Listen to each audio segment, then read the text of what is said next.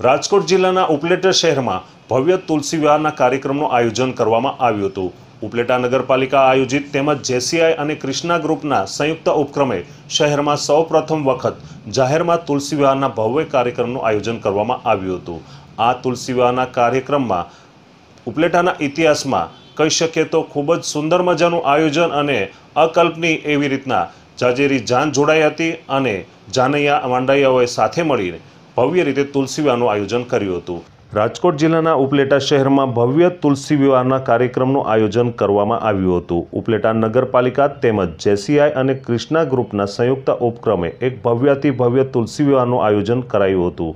શહેરના મધ્યમાં રાજમાર્ગ પર આવેલા બાપુના બાવલા ચોક ખાતે આ કાર્યક્રમ યોજવામાં આવ્યો હતો. જેમાં નગરપાલિકાના પ્રમુખ મયુરભાઈ સુવા યજમાન પદ પ્રાપ્ત કરી કન્યાદાન કર્યું હતું. જ્યારે સામા પક્ષે સમસ્ત ચંદ્રવાડિયા પરિવાર દ્વારા ભવ્ય કૃષ્ણ ભગવાનની શોભાયાત્રા શહેરના માર્ગો પરથી જાજેરી જાન લઈને આવી પહોંચ્યા હતા. ઉપલેટા સમસ્ત ચંદ્રવાડિયા પરિવાર તેમજ નગરપાલિકા પ્રમુખ પરિવાર બહોળી સંખ્યામાં ઉપસ્થિત હતા. ત્યારે આહિર સમાજના પરંપરાગત પોશાક પહેરીને યુવકો અને યુવતીઓ આવી પહોંચ્યા હતા. ચંદ્રવાડિયા પરિવાર દ્વારા કાનોડાની જાન લઈને આવતા રસ્તામાં રાસ ગરબાની રમઝટ બોલાવી હતી તેમજ ફટાકડાની આતશબાજી પણ કરવામાં આવી હતી. આ તુલસી વિવાહમાં વિદ્વાન શાસ્ત્રી રાજુભાઈ જોશી દ્વારા શાસ્ત્રોક્ત વિધિથી તુલસી વિવાહનું કાર્ય કરવામાં આવ્યું હતું. બહોળી સંખ્યામાં વિશાળ એવી આ શોભાયાત્રા બાવલા ચોક પર પહોંચી હતી ત્યારે ભવ્યાતિ ભવ્ય આ જાન લાગી રહ્યું હતું કે ઉપલેટા શહેરના ઇતિહાસમાં સૌ પ્રથમવાર તુલસી વિવાહના આ કાર્યક્રમની આ જાજેરી જાન પહોંચી હતી.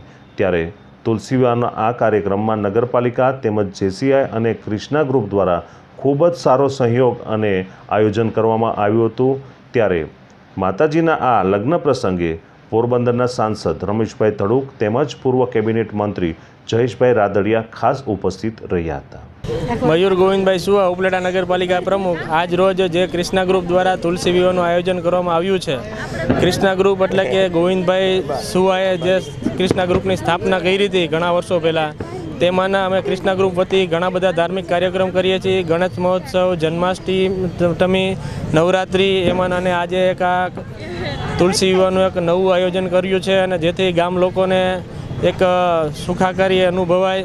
અને આવનારા સમયમાં અમને ધાર્મિક કાર્યક્રમો અમે કૃષ્ણગુરુ વતી કરતા રહીએ છીએ અને કરતા રહીશું એવી અમારી પ્રભુ પાસે પ્રાર્થના છે.